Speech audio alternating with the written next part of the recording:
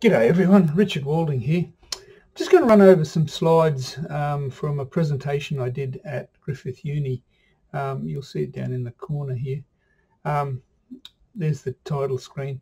It was the uh, cutting edge for um, Griffith Uni Teachers Professional Development Day last November in 2021. Um, I'll just go to a bigger image. Okay. Um, now I've titled, I titled the talk Rolling Balls and Stacked Magnets. Now I've already done the rolling ball one, which was about inclined planes. And in this video, I'm going to look at the stacked magnets, which was part B, if you like, of the, uh, the talk. Um, the rolling balls and inclined planes one is um, on YouTube, and I'll show you the links later on. So this will also be, this is also on YouTube. That's where you're watching it. Um, and I'll just go through some of the bits and pieces. The whole purpose was to show teachers um, some experiments they can do or students can do for their student experiment as part of the Queensland syllabus, um, assessment item called the student experiment. And I'm going to show some, or one particular experiment that works really well as a modification and um, we'll see how this goes. Now, I'm calling this one stacked magnets. Now the whole purpose of this talk is to show teachers and students, if they're watching, um, how you can take one of the mandatory experiments and turn it, or and actually modify it for a student experiment. So in senior physics under the Queensland syllabus, um, in Unit 3, there's a number of um, mandatory and suggested practicals um, in the unit on uh, magnetism, there's a couple of um, mandatory ones. So that one of them is to do with uh, forces of a uh, magnet at different distances. And I'm going to look at that. So I'll look at the mandatory one first, and then I'll show how we can modify that to make an interesting student experiment. Okay, so this one will be stacked magnets. Now by stacked magnets, I just mean putting magnets in a um, in a stack rather than using single ones. So here's a bunch of stacked magnets. Look, I'll just go back to this one. And I've got a whole heap of, I just bought those. I think there's 30 magnets there. So you just buy them on eBay or wherever you like. And um, you can stack them. So you can look at one, two, three, all the way up to 30. Okay, so that's a set of stacked magnets. Now, um, I'm going to take this experiment out of um, the the mandatory experiment is written up in my practical manual in the back of the Oxford textbook and there it is there. So it's uh, what's that page 402 and that's just the, the title page but there's about um, eight pracs in there the mandatory ones. The suggested ones are in um, the workbook or are online in the O book. Okay so there's the cover for the textbook. So that's my Unit 3 and 4 textbook.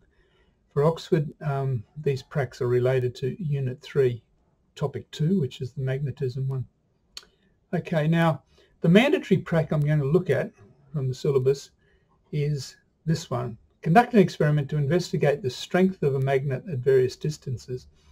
Now, you have to, or teachers have to, interpret what the word strength means and actually what a magnet is distances is pretty obvious. Now, in the experiment I have in the textbook for the mandatory one, I'm interpreting strength as to be the force. I'm using strength as to mean force um, between magnets at various distances. Now, so I've said that here. Interpreting strength as force and the magnet as a bar magnet. Now, the reason I've said that here is that um, some people do the experiment, which is the, the, the magnitude of the magnetic field around a current, current carrying wire, and they interpret that as the wire, the current carrying wire as the bar magnet, or as a magnet, and the strength as being the magnitude of the magnetic field. Now, I don't, uh, this, I think this experiment gets closer to what the syllabus was after, but anyway, um, either would be okay. So in this case here, um, the student is measuring the distance between two magnets and one magnet's on a um, electronic balance. And so she's measuring the force between them, um, maybe a repulsive force um, or an attractive force, it doesn't matter, um, between the bar magnets and just changing the distance. So here's the, the section out of the textbook um, that I was talking about. So you can see the diagram. I've got a north and a south, so it's an attractive force. So the um, the mag as the magnet gets closer, the strength or the force gets greater, and so it pulls up on the um, the balance, and the balance will go into the negative, but that's fine. Okay, now here's two things we can do. Um, we can keep the magnets the same. So this is the original experiment, if you remember. So I'm just using um, the little um, the rare earth magnets here, like I, I held up a minute ago. And there's the distance between them um, is D1 and the force between them I can say is F1. Now I'm keeping the number of magnets the same, one, one each case. So all I'm doing is increasing the separation distance. Look here it is to D2 and then to D3. Now you need to do at least five different distances, five manipulations of the independent variable. Um, and then you'd get different forces, which would be related to the scale readings on the balances. Okay, so that's that's what the mandatory experiment looks like. Okay, now when you do that experiment, now I'm not going to go into too much detail here. I've done videos on this before, but if you do it and you vary the distance from, here we are at five millimeters. Now that's, you know, you can imagine how close five millimeters is, and it's pretty hard to um, get that done accurately. Five all the way up to say 30 millimeters, three centimeters or so. Um, you'll notice um, there's the data I've got. Now I've, I've, done this many times before and I've used student experiments, but this works really well. And then I've put in a trend line. Okay, I've done a power trend line using Excel and it's given me a power of negative 2.8. So not quite inverse cubed, but not inverse squared, somewhere in between. Okay, now That's using these N45 magnets, the rare earth magnets I was talking about. They're the common ones, and you can get those from just about anywhere. Bunnings is, um, if you need them in a, a, hurry, you can go to Bunnings. They're just for a few dollars. Um, 8 millimeters diameter, 3 millimeters thick, and they're said to have a surface magnetization which, uh, well, 0.44 Tesla. Now, um, I've, I've just called that B0 here as the a value um, for the surface. Basically the strength, magnetic field at the surface of the magnet. Okay, now the problem is some people will say, if you look up on the internet, some will say, oh, the force between magnets is inverse cubed, and others will say it's inverse squared. And I've seen one before that says inverse to the power of 4. And students say, well, what's right? Which one am I um, using as my accepted? And the answer is, well, they're all right. It all depends on the distance. So let me just show you this. Okay, if you're close in, now let's keep that in, keep in mind that's the whole experiment from 5 up to 30 millimeters. Okay, and it comes out to negative 2.8. If you look at the first part from 5 to 10 millimeters. So that's in this region here, 5 to 10. So if you expand that and just look at the power, the trend line and the, um, the formula for the, the power, it's negative 2.1. So that's almost inverse squared. So inverse squared when you're close in, 5 to 10. Let's have a look from 10 to 15 and see what happens oh, this is 10 to 20, sorry. So from 10 to 20, from there across to there, look, it's inverse cubed, not almost, negative 2.9. The question is, what will it be from 20 to 30? Now, the trend looks like inverse squared, inverse cubed, maybe inverse to the power of 4 as we go further away. And sure enough, it's getting up close to 4. So the answer to students is that depending on how close the magnets are, and the type of magnet, of course, um, the well, no, how close they are, the um, the relationship between force and distance will vary from inverse squared close in to inverse cubed, inverse to the power of 4. And so the further away you get, actually it ends up as power of 4 exactly. But um, for students in a classroom, anything over, you know, once you get up to big distances, the error, the limitations of the measuring instruments is great and the uncertainty in the measurement um, starts to overwhelm any accuracy you can possibly get. Okay. Look, I'll just point out here in the 2020 subject report from QCAA about the um, student experiments, it said, should ensure that the experiment collects sufficient data to draw valid conclusions, e.g. at least five data points to establish a trend and three to establish uncertainty. So going back to this, you need five data points. Well, look, I've got you know about 10 data points here, but what I haven't shown is the um, that I've done triplicates. Now, of course, a student doing this will do this experiment, and I'll just go back a, a slide and back to here.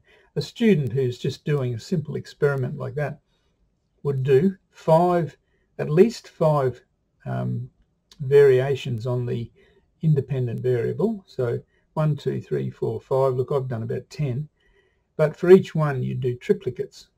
So, and then you'd have error bars drawn for the um, each of the data points. So just keep that in mind when you're advising students, or if students are watching this, stick to what QCAA says, five data points and three trials, in other words, triplicates. Um, okay, so going back to that previous experiment, what you need to do is linearize this experiment here, um, the overall experiment, um, what a student would do and what we suggest to them is to linearize that. So plot, that looks like about inverse cubed or something like that. So let's plot um, x cubed on the bottom versus the force. Okay, so here we go. So look, I've done um, x1 on x squared to start with, or just to try that out. So that's I'm looking for an inverse square relationship, and a student would do this and say, well, look, that's a pretty good trend line. Almost goes through zero. Um, not much in the way of curves offered. A bit of a curve. That's a bit suspicious. But look at the r squared. It's nice and high. So typically a student would sum up by saying they've confirmed an inverse square relationship um, but mention some of the limitations and how well they can generalize that. So now that's the that's the, the main part. If you try inverse cubed, so you're plotting one on distance cubed on the bottom, look, you're getting a bit of a bend in it. So it's not quite inverse cubed. It's not quite inverse squared because, you, you know, as I said, it varies over the distance. So you're good to examine those sorts of things. Now, a student who's trying to get 20 out of 20, 100% for their student experiment um, would certainly, um, if they did this sort of analysis, would be looking for top marks. So if I go to 2.8, which seemed to be the trend line um, overall, it's still a, a bit of a curve. So that really highlights the point that it's not a uniform relationship. It varies with distance. So it's not an inverse squared, inverse cubed, or inverse to the power of 4. It's It varies. So that'd be the end of your mandatory experiment. So that's what students would have done in class under your guidance written it up. And you would have talked about um, how well they discussed errors and so on. Now that's not that's not an assessment item. That's just a mandatory experiment for them to um, work on the data, data collection, data analysis, and so on. Okay, let's have a look at how this relationship works out. Now, let's imagine you've got a pair of magnets. Now, um, I'll just show you here. Look, I'll just go back to this. Okay, so it's basically like that. So north, south, and there's an attractive force between the two. Okay, you could also make it south and south, and you'd have a repulsive force. But either way, you're still looking at the forces between two magnets like that. Now, the key thing about this is that if you look, there's an attractive force between the north and south. Okay, now most students stop at that stage and say, um, we're going to look at the force between the north and south. So that's the distance between them. Okay, but when you think about it, and this is really stepping it up to the next part, um, and not only do students forget about this, but a lot of teachers and a lot of stuff on the internet forgets about this point. They just treat magnets as being two, basically just a pole and a pole. Okay, so you're looking at the repulsion or attraction between two poles. But what you've also got between, as well as this attraction between north and south, you've got an attraction between the south here and the north at the bottom. Okay, now they're further away, but that's an attractive force. So the force between the north and south on the insides is at a distance x. The force here between the outer south and the outer north is x plus L plus L, so x plus 2L. But you've also got um, re repulsion. So this north here is repelling this north at the bottom, and this south at the top is repelling this south here. So you've got repulsion between those two poles. Now the distance apart for this north here and this north here is x plus L. So that arrow there is x plus L. This arrow here is also x plus L. Now they're inverse relationships. So let's inverse squared relationships. We're treating this as um, in terms of Coulomb's law because after all, you've just got circulating currents making up the magnetism. So we're treating it as a Coulomb's law type of um, repulsion. And oh, before I go on, I was saying students often forget about um, other than the primary, the closest pair of poles. Now, there's an interesting report in um, you know, JRST, which was about chemistry and students forgetting that in an atom, the bonding, um, say an ionic bond, not only do you have the negatives and positives attracting, you've got repulsion between the, the nuclei of two neighbouring atoms. And students and teachers tend to forget about the repulsion. And here, students tend to forget about the repulsion. They forget about everything except the primary set of poles next to each other.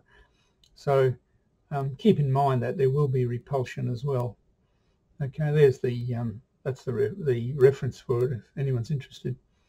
Okay, so if you look at Coulomb's law, it's inverse squared.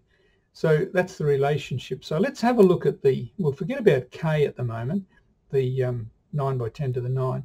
Let's just have a look at the Q times Q over R squared. In fact, Q doesn't change, so we're not interested in Q. We're interested in the um, distance. So for this pair here, it's 1 over x squared because it's x apart. For this pair here, attraction, it's 1 over x plus 2l all squared, like I said. And for these two here, it's 1 over x plus l all squared. You've got two lots of that, so it's 2 over x plus l squared. Okay, so really you've got this first term is attraction, the second term is attraction, the third term is repulsion. So the overall force will be proportional to that plus that minus this one. Okay, you treat that as repulsion, so it's a negative. Okay, so it looks something like this. So the force um, is equal to some constant, we'll worry about that later, times um, 1 over x squared and so on, like I just mentioned. Okay, 2 over x plus l at the end, because x x plus L squared because it's two lots of it. Now, if you go to Wikipedia and look and Google or and search for force between magnets, that formula comes up or a version of that formula comes up. And Wikipedia is quite reliable. The formula they use is um, an appropriate formula. It works well. It makes sense theoretically. And it's been derived by the people, if you look at the references for who puts it there, it's by physicists It's not just some um, made up thing. Okay, now the constant turns out to be pi mu 0 over 4. Now, um, that, that is a constant. Those values are in the formula book. Um, m is a, a formula related to the magnetization, surface magnetization. Okay, so for magnets, the formula, the m in this formula is 2 times B0. Now I told you B0 was about 0.4 Tesla, 0.44 Tesla for those um, rare earth magnets that you get from Bunnings or um, like I was waving around before, these these magnets here, um, you know, the, the common um, rare earth magnets. And um, just that B0, it doesn't really matter how it's related to the magnetic remanence, but if you, students want to go into what magnetic remanence is, um, they could look it up and talk about how it's related to B0. But we know B0 is about 0.44. So you substitute all that in. Now R is the radius of the magnet itself. Uh, I haven't said that there. And um, now, so the formula, when you substitute in, it comes to that. And this is when x is greater, much, much greater than the radius of the magnets. So the magnets I'm using are about 8 millimeters. So there they are there. Diameter. So the radius would be 4 millimeters. Um, but x, I'm starting off with probably 5 millimeters, but I'm going up to probably 30 millimeters. So x is much, much greater than r. So that formula is quite okay.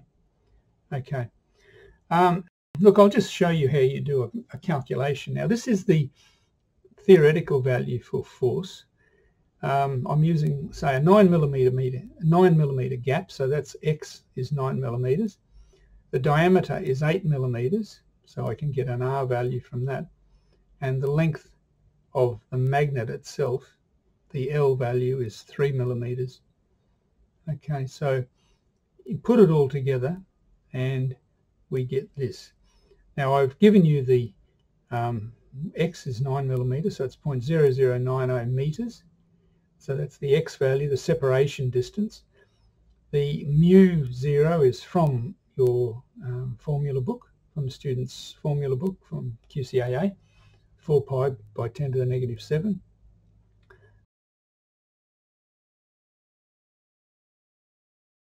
and r is the radius, 4 millimeters, which is 0.0040 meters. Okay, that's half of the 8 millimeters.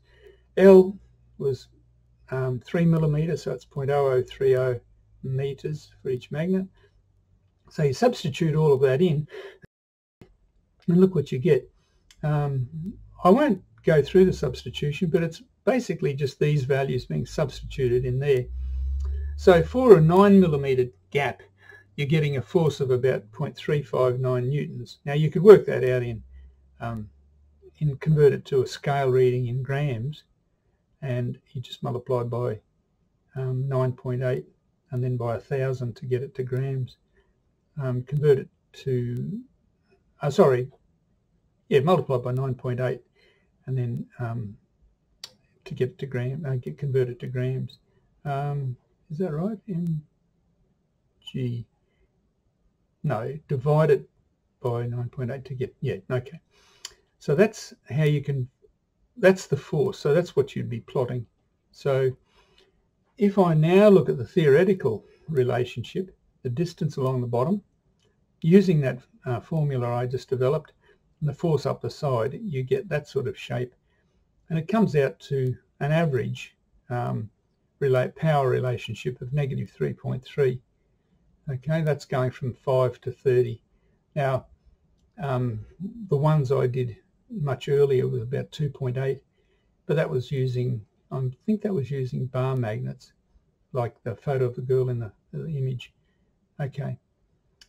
Now, there's the experimental, negative 2.8, and I had that data up there.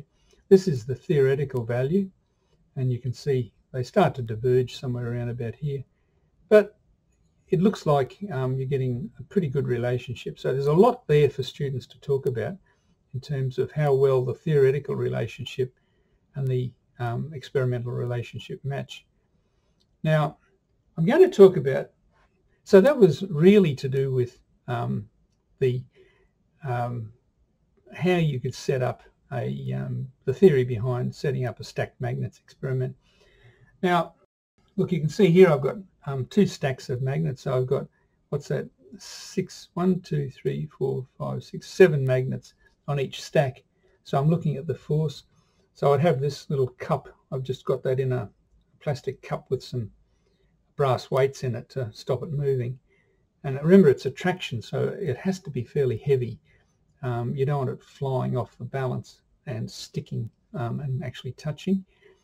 Now, I've changed the, the diagram and I'll the I've changed the way I set that up um, to something I think is a bit better. But let's move on first. The mandatory prac was to investigate the strength of a magnet at various distances. We've covered that. Now we have to identify an experiment to modify. So we've got the experiment we're going to modify, which is the previous one. And we want to extend, refine or redirect the research focus. Okay, so we now want to think about a rationale for why we'd do these stacked magnets. So we'd, now if I go back, a stacked magnet is just really a longer magnet. So this magnet here is seven times as long as um, the one magnet by itself. So what you're really looking at is how the length of a magnet changes the force between the magnets. So how does the force change as you increase the length of a magnet? Okay, and a stacking, stacking magnets is really just um, another way of increasing the length.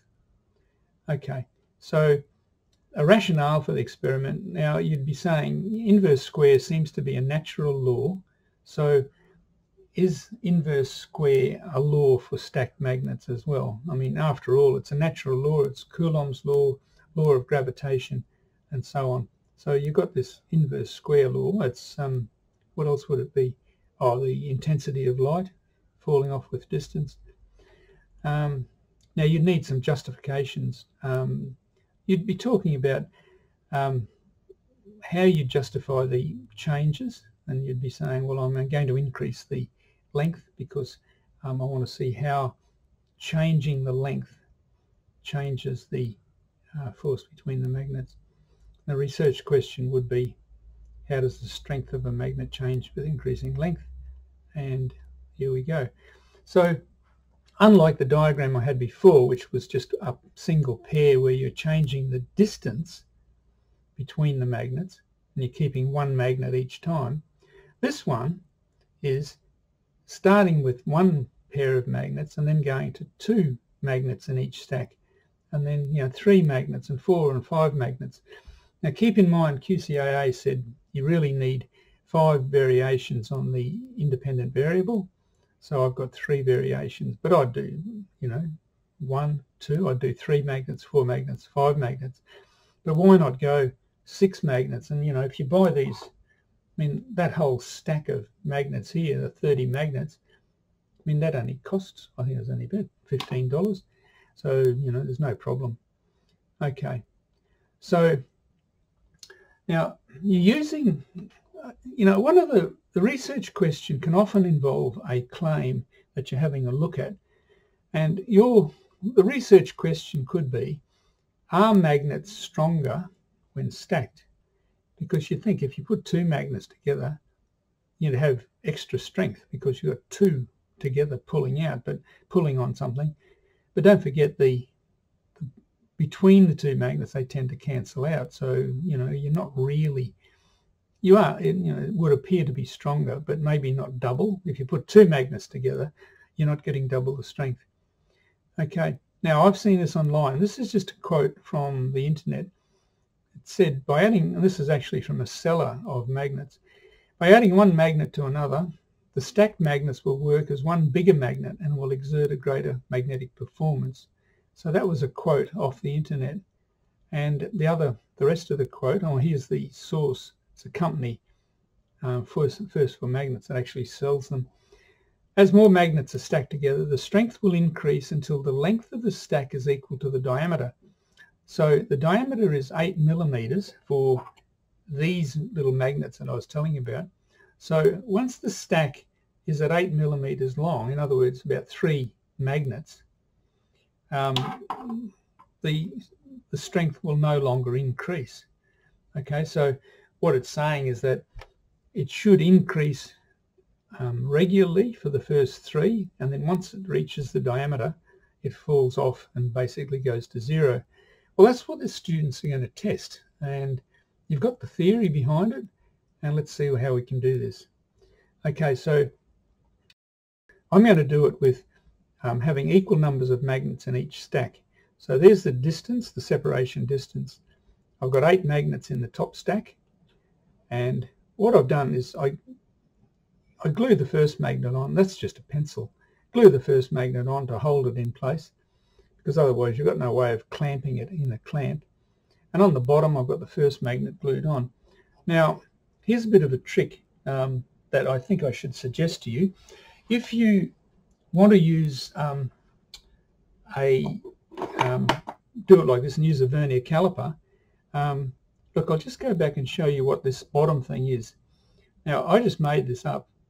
All it is, is um, you can see it there. It's just a piece of wood with a pencil sticking out of it. Um, and I've glued a magnet on the top.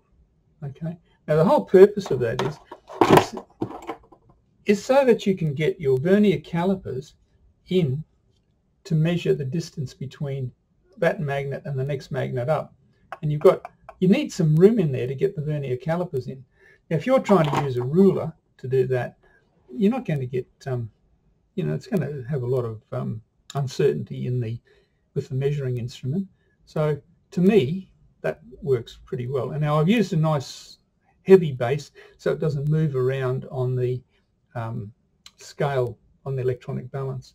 So that seems to work all right. Okay, so um, that's how I'm doing it. So here's the setup um, and you can see I've got the um, that little piece of wood there. I've got four magnets in each stack and there'd be a scale reading here. You can't see it at the moment but you can see I've got it nine millimeters apart. Okay, so I've said you need a heavy base to stop the magnets moving sideways. Right? You don't want it moving around. In fact, I put a bit of Blu Tack under there just be careful. Don't push down on the pan because you'll you'll wreck the this the um, electronic balance. You'll you'll break the little strain gauge that's in it. Take the pan off if you're going to put Blu Tack on it. Stick it to the pan and then gently put the pan back on. Okay, so here's now i have done duplicates here. Now I know QCAA said do triplicates and I've always got my students to do triplicates and in my textbook I say do triplicates. So here's the first one. Now they're nine millimeters apart and you can see I've got the um, vernier at the bottom, nine millimeters for each. And I took these. Um, I didn't actually take them straight after one another. I did it first and then I did it again. Okay, students are often think, well, I'll take one reading, there it is there, and then turn the head sideways and then look at it again and take the same reading. Uh, I don't think that's very um, very good. I, I think it's better to do it twice. Um, anyway, so um, I'm getting readings of 34.61 and 34.19 grams. Now you can convert those to newtons by dividing by 1,000 and multiplying by 9.8. Okay, so that's trial one, 1 plus 1. And trial 2, I've done the same thing and um, but I've used two magnets in each stack. And you just have to clip these on. This, this can be done really quickly once you get set up and then adjust it to 9 millimeters and then take your reading. Now, the reason I've done this in so much detail is for people who can't get to laboratory equipment, they haven't got access to balances and maybe magnets and clamps and verniers and stuff like that. Now, for some reason, the stu students mightn't have access. It might be doing something by correspondence, or it might be students are at home, they're locked down, or they're sick, or something like that, Now they could come to this and you could direct them to this video or this PowerPoint, uh, the PowerPoint slides that go with it and say, just get this data off there. It's second hand, but you can do it. So I'm allowing time for students to write down the two readings. So 2 plus 2, there's the two readings. Okay, 3 plus 3, write it down, 110.26, 106.54. Let's move on. Now you can, if you, I'm going too quickly, you can just slow this video down and um, get the data or go to the PowerPoint that's linked to it. And you'll see that on the website, the next line down.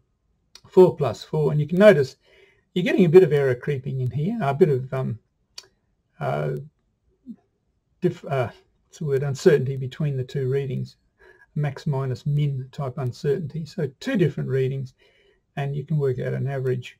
But that'll be um, good to have error bars because you'll have a maximum value and a minimum value. Okay, 5 plus 5. Look, I'm going to go a bit faster now because I've done quite a few and you can stop the video um, to get these this data or go to the PowerPoint slides. 6 plus 6, 154. 7 plus 7, 160. So you can see it's getting greater and greater. 8 plus 8, 9 plus 9. Now look, I've written on a bit of paper here just so that it's not confusing about what we're, um, what the various things are. Still 9 millimeter um, separation. Still the 8 millimeter diameter magnets, 3 millimeters thick. And there's the scale reading. 10 plus 10, 11 plus 11, 12 plus 12, and so on. Now I'm going to go faster because I think I go up to 17.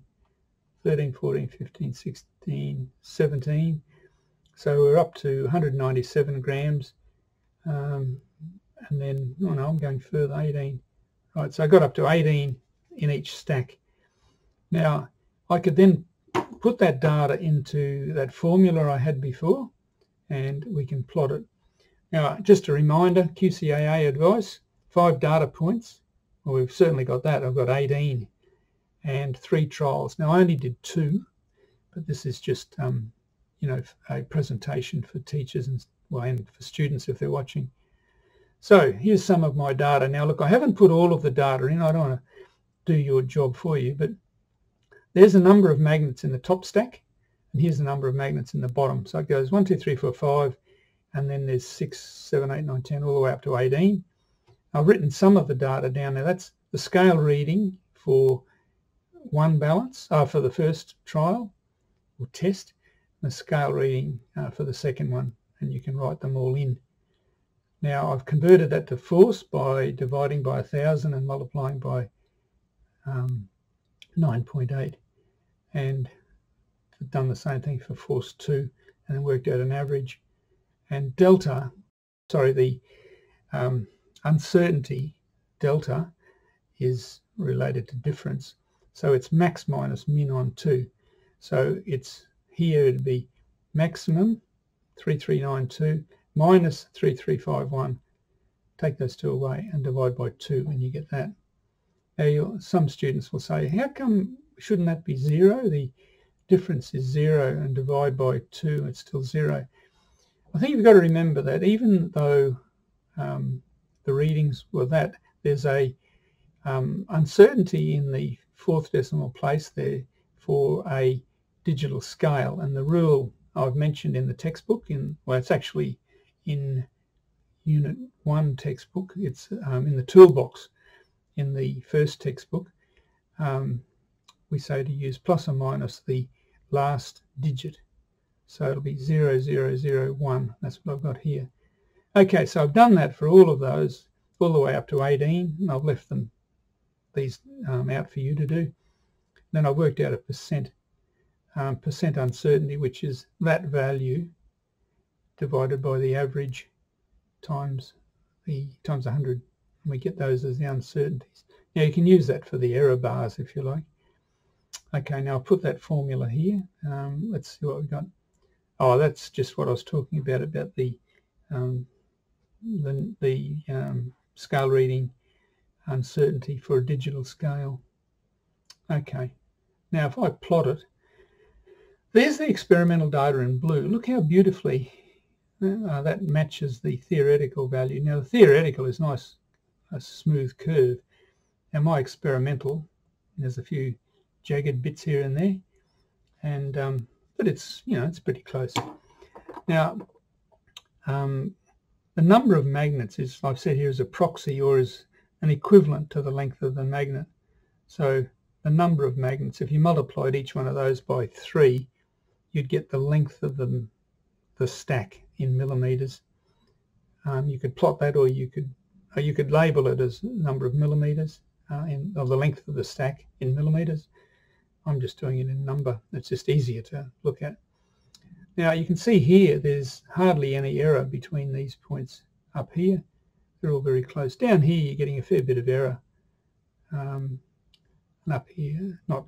Now that formula for the theoretical depends on the value that you've chosen for the um, surface magnetization of the N45 type magnets. Now I've um, I've, I've told you it was 0.44 Tesla, but if you change it to 0.43 for instance, you find the orange graph comes down on top of the blue one and these are much much closer here but then they're further away here. But the point, the, the main thing is, is for students is not to think they have to get the exact value, but you're talking about how you measure this, how you analyze the data, how you look at the limitations of the data, how you generalize and all those um, things and then draw a, draw a um, valid conclusion, a justified conclusion. So you can do that with this. So let's have a look further. Now, um, let's have a look at just the, the early part of that rather than looking at the whole lot. Let's have a look at the first three magnets. As I said to you before, the, um, the manufacturer said it's linear up until the first until the the length of the stack is equal to the diameter, which is about three magnets, takes us to about nine millimeters. Okay, and the diameter is about eight, so around about there. Now that looks pretty linear, but what I've done is expanded in the next little bit. So I've looked up to, you know, zero to eight. Um, now it's got a bit of a curve there, but look, the first three, could you imagine they look pretty linear? I'm not so sure. So there's a lot to talk about there. Um, now, I'll, I'll leave it at that for the time being. Um, you're really commenting on this this um, statement as more magnets are stacked together um, until the length of the stack equals the diameter. So it starts to curve off after, you know, three, it starts to curve. And you can see back to this one after a few magnets. Look, it's up here, it's almost um, flat. Okay, so you're not quite confirming that um, manufacturer statement. Now, what I wanted to do was to make this a bit simpler. Um, instead of using um, the same number of magnets in each stack, you just use one magnet in the bottom stack and you increase the number of magnets in the top stack. Then the distance doesn't have to be changed. It's always 9 millimeters. So I've got 9 millimeter distance I haven't said that, but the distance. And all I do is plonk one magnet after another on the top and get a reading. So you just click on one magnet, add another magnet, take a reading, add another magnet, take a reading. Now I made a little video of this. Um, it goes for 1 minute 36 seconds. I'll let it run, but um, you can skip ahead if you're not doing this or you don't want to see it. Okay, here we go. Okay, you can see I'm just adding magnets and you can see these scale readings going. So I've given you enough time to write down the new reading. Oops, that one went off to the side and they just click in place. Now they're pretty brittle, so I did, a couple did crack. So you're just doing this. Now you can see the jump in scale reading is getting less and less. Look, it's it's it's only about half a gram. Right, it's about 0.3 of a gram now. So it's really tapering off. So I keep going up to um, 34 magnets. Now, I'm going to let this run Um, we're up to 18, 19, um, because some of you might want to get the data, and this is only for one trial, but it's um, interesting to plot and to try out various um, bits and pieces with that formula, trying to get the formula right. But I think it's a good um, good video for you to see how I've done this. That's just a piece of metal, aluminium, U-shaped piece of aluminium in the clamp to hold the magnets in place. I've got the bottom one glued in. Okay, 32, 33, and lastly 34. Okay, so that's my 34 pieces of data and here we go. Now, my experimental, that's what you just saw in the video, you can see is in the blue line. There's the um, theoretical using 0.44 Tesla as the surface magnetization for those rare earth magnets. Okay, now you can see here, look how close they are. But down here, there's a bit of a difference. Now, if I change this value, the theoretical value, to say 0.43, what happens is that orange graph comes down. Okay, so it comes actually comes below the blue one, but these meet up here. They're much closer here. And when you do an error analysis of the whole thing, you find using that 0.43 is even better. Um, you get it um, less error. But, you know, you're just talking about the, the data you've got. Okay, so there's a number of magnets in the top stack. And remember, you've got one in the bottom stack. Now, question is, how can you compare those two values? Now, I don't know what you, it's easy when you've got linear graphs. You can just look at the gradient and the max and min values and compare the gradients and talk about the how close the gradients are to each other and take it from there. But you've got no real gradient here. It changes all the time. Now, some people would just average the two and say, how do the averages compare? But you can't do that. You can't work out an average for a, curve like this and expect to be able to compare the averages. Um, that just doesn't make sense. So there's a couple of ways to do it. Now let's have a look. The first way is to determine what we call the coefficient of variability, CV. You calculate the residual, the difference for each pair of data points, and then calculate the mean and standard deviation of these residuals. So going back to this, so you'd work out the difference between this pair, and you'd write it down, that pair, that pair, that pair. So you'd write all these differences down into a Excel spreadsheet um, and work out the mean and standard deviation of those differences. Now that's called the residuals. Each one of those is a residual.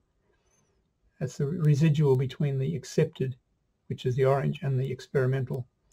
So as I said here, calculate the mean and standard deviation of the residuals, and you calculate the coefficient of variability um, of the residuals. Now I'll show you that, and we say if CV is less than 1, then um, the data sets are said to be similar. Okay, so um, here's my value. There's the residuals and the coefficient of variability um, is 0.43. Now, you, the other thing is, if it's less than one, I think I've said, oh, here we are here. So if it's less than one, we say the data sets are similar. So a student could do that, calculate the CV and be happy with that. Okay, now the second way might be simpler. All you do is plot a, what they call a QQ graph. So you plot the experimental value against the predicted value, and if it's 1, 1 is to 1, you mean it means they're an exact copy of each other. Here, I've done that, and there's a bit of a curve, um, and uh, we can get an R squared value. But you could look at that, and you could say um, the experimental which is the y value, is 1.0074 times the accepted value. And so you'd say it's not 1. If it was 1, it'd be zero error. But here it's a little bit different. So um, that's just another way of commenting on it. Um, a gradient with 1 is, is good, uh, would mean they're exact. And a high R squared, well this is pretty high, 0.99, but it could be better that if there's no gap there. There's something going on in the first um, little bit that's a bit out. Okay, and because of that you can say 99% of the experimental values can be predicted from the model and the model is that formula there. So I think that's working pretty well. Now if you're trying to find this video, obviously you've got it from YouTube, but I've got the link on my webpage. If you scroll down a little way into the year 12 stuff, you'll see that. I go to go to that link and look for this little topic here, and um, you'll see both the YouTube videos for both of those and the PowerPoint. Okay, I'm going to leave it there. So that's it. Thank you.